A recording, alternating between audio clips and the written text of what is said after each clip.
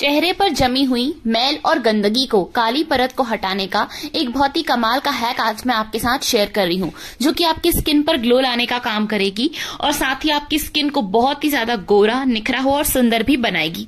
इस रेमेडी को बनाना बहुत आसान है। सबसे पहले हमने यहाँ पर व्हाइट वाले कोल्ड क्रीम का यूज़ करा है। आप कोई भी क्रीम यूज़ कर सकते हैं।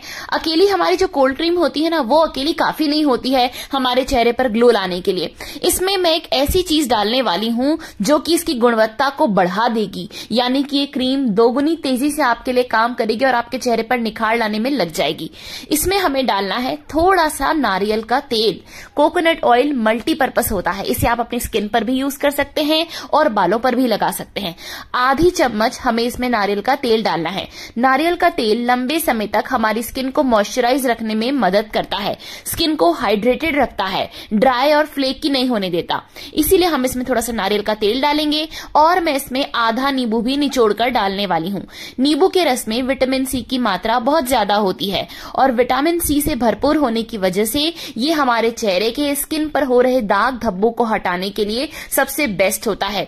हमारी स्किन की सभी प्रॉब्लम को दूर कर सकता है नींबू का रस। नींबू का रस अप्लाई करने से मेलास्मा यानी कि काली झाइयों की तकलीफ़ भी दूर होती है। अगर आपके चेहरे पर सालों पुराने झाइयों के निशान है तो लेमन जूस का यूज़ करने से आपके झाइयों के निशान निशान भी हल्के हो जाएँगे। अब हमें सभी चीज़ों को आपस में अच्छे से मिक्स करना है और हमारी ये रेमेडी बनकर तैयार हो गई है। इसे आपको किसी भी शादी या पार्टी में जाने के 15 से 20 मिनट पहले लगाना है और आपकी स्किन पर इतना अच्छा निखार आएगा कि शादी में सब आपसे पूछेंगे कि आपने अपने फेस पर कौन सा फेशियल कराया है। पार्लर में जाकर अपना पैसा बर्बाद मत करिए। हम लोग कितना सारा अपना पैसा खर्च करते हैं महँगी महँगी फेशियल कराने में, लेकिन फिर भी जो ग्लो आता है ना, वो केवल टेम्पररी रहता है, लेकिन इसका निखार निखार लंबे समय तक आपकी स्किन पर रहेगा।